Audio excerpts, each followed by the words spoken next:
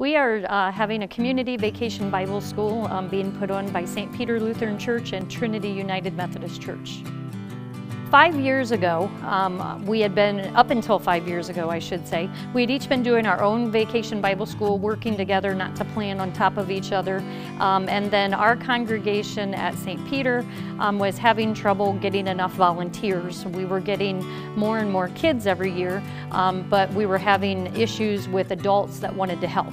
So we as a congregation talked and I approached Trinity and asked them about doing a community Bible school because they had a bigger space and they um, had adults that wanted to help along with our adults which by putting it together allows us to serve just as many if not more kids from the area.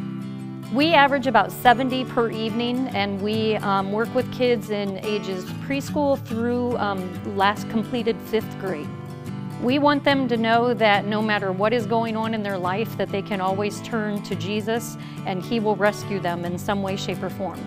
We also want them to know that there are church families in the area that they can turn to if they need help and someone will always be there for them.